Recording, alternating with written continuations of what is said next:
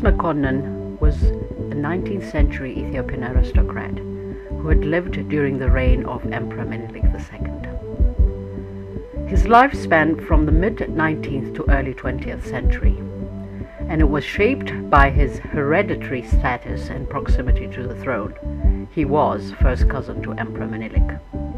But moreover, Mekonnen became a true confidant, one of the monarch's inner ablest counsels, a loyal and indispensable friend. The love and bond between Menelik and Mekonnen was described as one between two brothers. Many thought that Menelik had designs to make the younger Mekonnen his heir.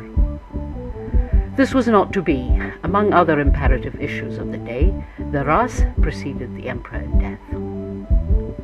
During the span of 54 years, Ras Mekonnen was known as a steel of a man for his stern and even serene disposition, added with a dynamic and shrewd political mind.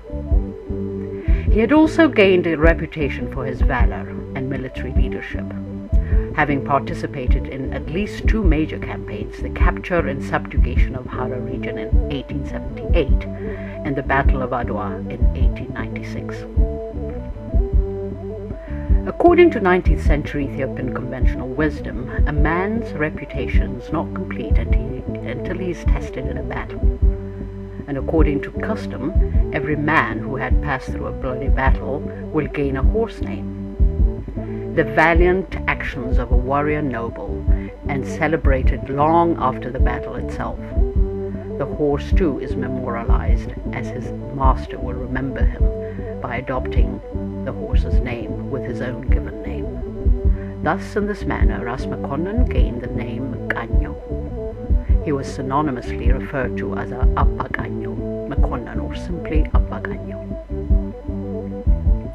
Perhaps his greatest and most lasting achievement was the remarkable role he played in shaping one of the greatest monarchs in Ethiopia's history.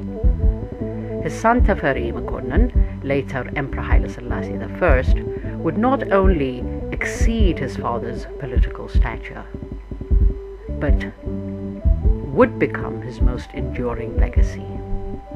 Years later, his son would remark on the significance of a father's role, saying, Every laborer is a father, his labor is his child. Choose your project carefully and achieve it worthily.